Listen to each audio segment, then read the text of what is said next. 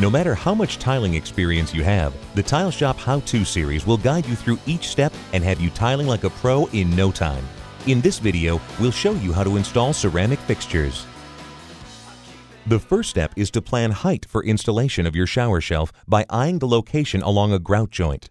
Thoroughly clean the area with antibacterial cleaner. Now apply 100% silicone to the backside of the shelf. Press the shelf firmly in place, applying even pressure. Secure the shelf in place with multiple pieces of duct tape.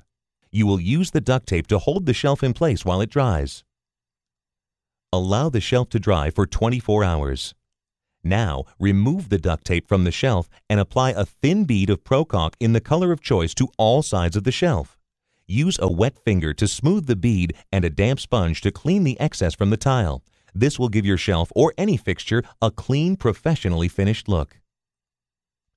Allow caulk to dry for 24 hours before exposing the shelf to water.